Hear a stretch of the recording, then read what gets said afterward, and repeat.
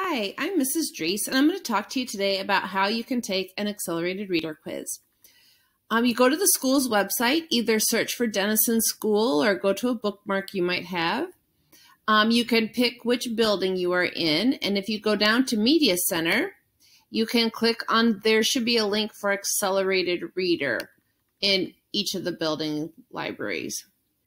Um, this is the same website you we use for STAR. So you can say if you are a student and then log in using your same login.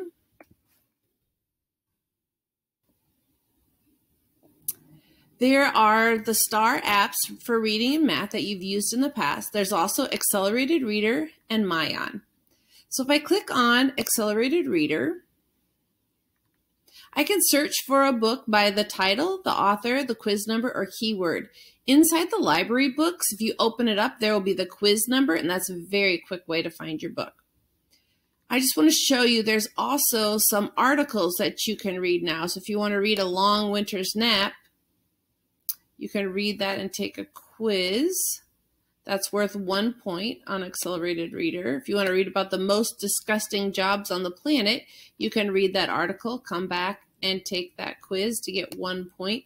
There's all kinds of um, articles. There's some book ideas that you might want to try, some award winning books, some articles, a lot of different things you can look for to help you find a book. I just finished a book called The Unsung Hero of Birdsong USA. So I'm going to type in Unsung Hero. And there's some different titles if I scroll down, so here's the book. Right here is the quiz number, and if I would have typed in 501990, that book would have come right to the top. Notice there's an EN, that means the test is in English. If there's an SP, that means the quiz is in Spanish. Um, I'm going to go ahead and take this quiz. Sometimes there's a vocabulary quiz or a literature quiz. You're welcome to take those. Um, they do not give you acceler or accelerated reader points, however. So I'm going to go ahead and start the quiz. I read this book by myself. So I'm going to go ahead and start the quiz. If you had it read to you, I think it will read the questions out loud. So you read the question.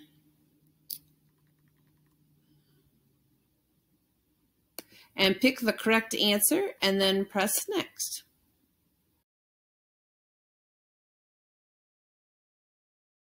At the end of the quiz, it will ask, how did you like the book? How many stars would you give it? Thought this was a pretty good book. I'll give it five stars. One of the best fours is very good, so you can pick which one you'd like. Then it's scoring my quiz. Ooh, I got seven out of 10. I only got seven questions right. I was taking the quiz very quickly.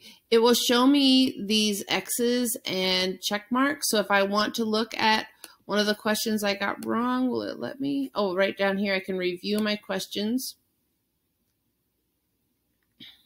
It tells me the right answer and the wrong answer. Oh, he did save him from the bike, but I guess the very first time was.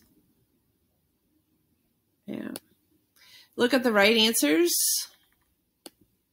and which ones you got wrong. It's good that I only got 7 out of 10 because I wanted to show you because I this book is worth 5 points because I got 7 out of 10, 70%.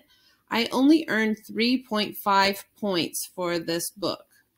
So you will get a percentage of the points depending on how many you had right.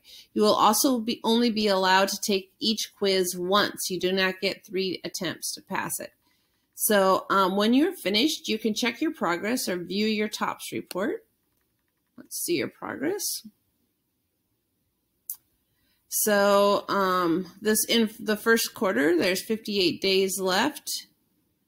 Um, here's a goal if you had a goal um, to be at how many, four or higher, your points. And this is your um, percentile. My percentile is low. I only got 70, so I'll need to work on that. And it will give you a little summary of your points.